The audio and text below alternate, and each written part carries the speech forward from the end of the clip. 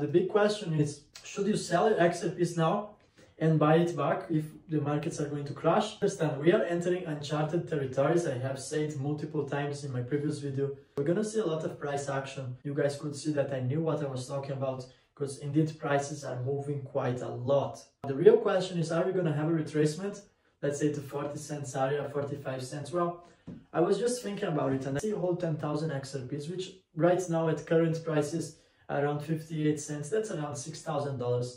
To be more precise, $5,800 at the time of this video. XRP is trading at 58 cents. Let's say you sell all at market price now and you want to buy it back at 40 cents. You're gonna gain around 4,000 XRPs on this transaction. But imagine all the pressure, all the stress that you're gonna have also because we don't know if the Fed is gonna cut the interest rates.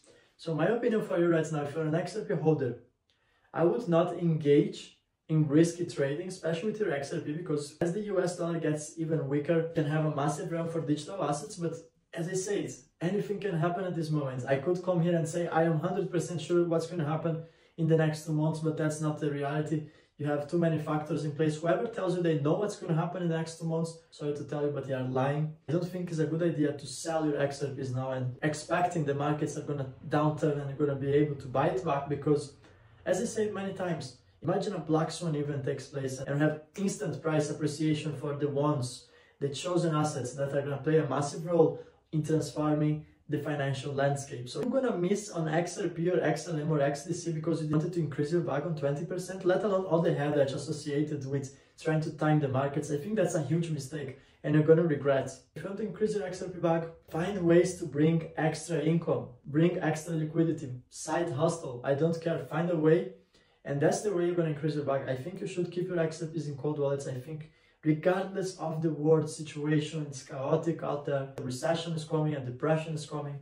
But selling digital assets, I think that's the most risky movement you can take for the both sides. And I think we are at the last stages of the US dollar. To be honest, I don't know if the US dollar is going to survive until the US elections. There's a massive effort from Russia China and Saudi Arabia, BRICS nations are actually becoming increasingly strong. In my opinion, the US dollar has already been dethroned. It's, it's just a matter of unfolding. So the situation is going to unfold. The US dollar is already over. So JP Morgan has said that we are heading towards a depression. It's not going to be just a recession. And in this video, we're going to analyze how that's going to affect digital assets and specifically XRP price. What is the influence of BRICS nations on this process? So right now, it's a very sensitive moment for the US economy. I would say for the global economy in general. So gold has made new all-time high just on the last week. Gold has been breaking new all-time highs at least on a regular basis, at least on a monthly basis. 2024, that's the new normal. And that signals something very important, that the US dollar is getting weaker by each day. So that was caused by the Saudis that just purchased around 106 tons of gold. It's one of the greatest gold purchases in history. They actually got it straight from Switzerland.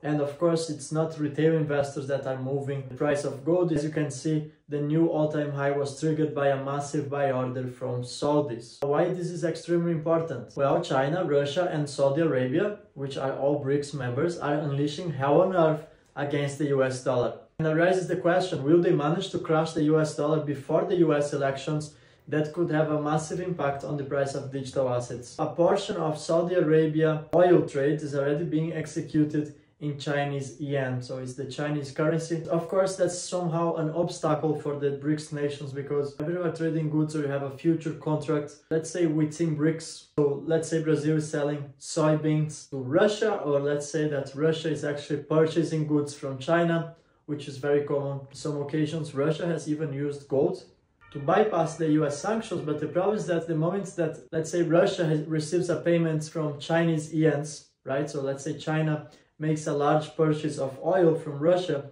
and they pay in Russia using the Chinese yuans, well, Russia comes to a point, they say, what can we do with all these Chinese currencies? Either they have used it in future agreements, so they can actually use this currency, or they can actually say, well, we're going to have to trade it to Russian rubles. Of course, they lose a portion on the transaction fees and also on the currency fluctuation. So that's why BRICS are now working on what's called unit currency.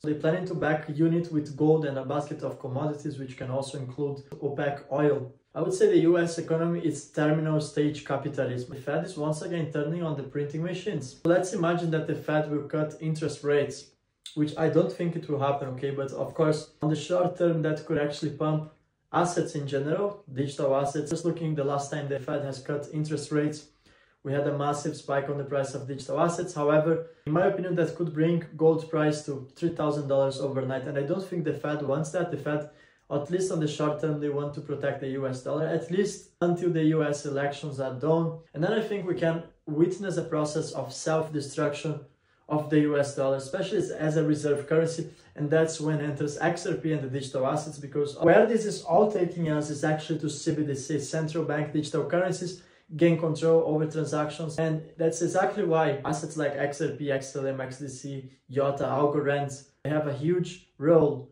when we're talking about the pivotal implementation of central bank digital currencies. That's the outcome. Just heading towards central bank digital currencies now. The real question is which Black Swan event is going to trigger the implementation of central bank digital currencies. That's the goal. Governments are colluded. Establishment wants to implement central bank digital currencies gain control over every single transaction in the world. That's why they have created Bitcoin at the first place. That's why blockchain technology has emerged. But we have to capitalize on this transformation. And that's why I think the best thing you can do right now is get involved. I think you should dedicate your time to learn about this transformation so you can actually monetize. In the future, you are not enslaved by, it, and in the future, you will not be a slave to artificial intelligence, to smartphones, to central bank digital currencies. You can build an alternative system and you can use blockchain technology to leverage your freedom instead of allowing other people to actually use blockchain technology to enslave you. I hope this message clarifies what I expect for the future, what's going to happen in regards to BRICS nations, gold, commodities. I'm not very optimistic for the US economy and I think right now is the time to protect yourself with the right investments. So thank you everyone and I see you in the next video.